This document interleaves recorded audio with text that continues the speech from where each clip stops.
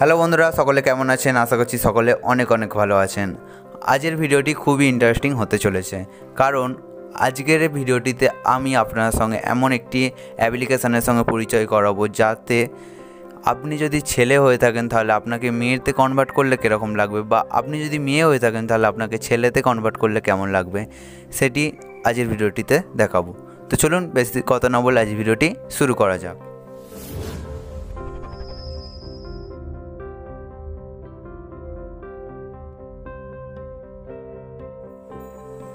Subscribe করুন all টিস Bangla YouTube চ্যানেলটিকে। পাশে থাকা বেল আইকনটি প্রেস করুন নতুন নতুন টেক ভিডিও সবার আগে পাওয়ার জন্য।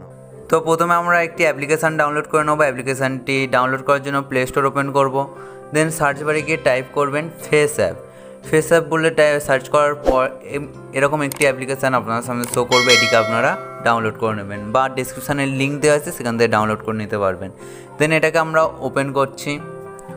ওপেন করার পর এরকম একটি ইন্টারফেস শো হবে দেন নেক্সট নেক্সট কন্টিনিউ করলে এরকম একটি ইন্টারফেস শো হবে। এবার এখানে দেখুন আপনার, যদি আপনি ছবি তুলে আপনার ফেস চেঞ্জ করতে চান চেঞ্জ করতে পারেন, বা আপনার ফোনে যদি আপনার গ্যালারিতে যদি আপনার কোনো ছবি থাকে, সেখান থেকে আপনার লুক চেঞ্জ করতে পারেন। আমি এখান থেকে ফটোই গেলাম। দেন অ্যালাও দেন এখান থেকে সাপোজ মনে করুন আমি একটা ছবি নিচ্ছি। এগ্রি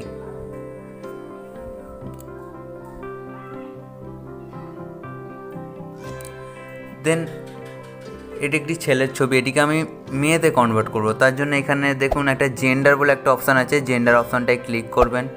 করলে ফিমেল তো এটা অরিজিনাল মেল এবার আমরা যদি মেয়েতে কনভার্ট করি তাহলে ফিমেল অপশানে ক্লিক করলে অটোমেটিক কিন্তু আমাদের লুকটা চেঞ্জ হয়ে যাবে। এবার আপনারা এখান থেকে অ্যাপ্লাই করে দেবেন।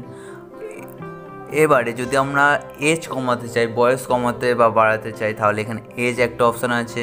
এখান থেকে আরও কমিয়ে নেবেন বা একদম ওল্ড করে দিতে চাইলে ওল্ড করে দেবেন। ওল্ড হয়ে গেল। অরিজিনালটা রাখছি। এখান থেকে অনেকগুলো অপশান আছে, আপনি আপনার মতন কাস্টমাইজ করে নেবেন। এবার এটাকে যদি আমরা সেভ করতে চাই, তাহলে এই সেভ অপশানটায় ক্লিক করে গ্যালারিতে সেভ হয়ে যাবে।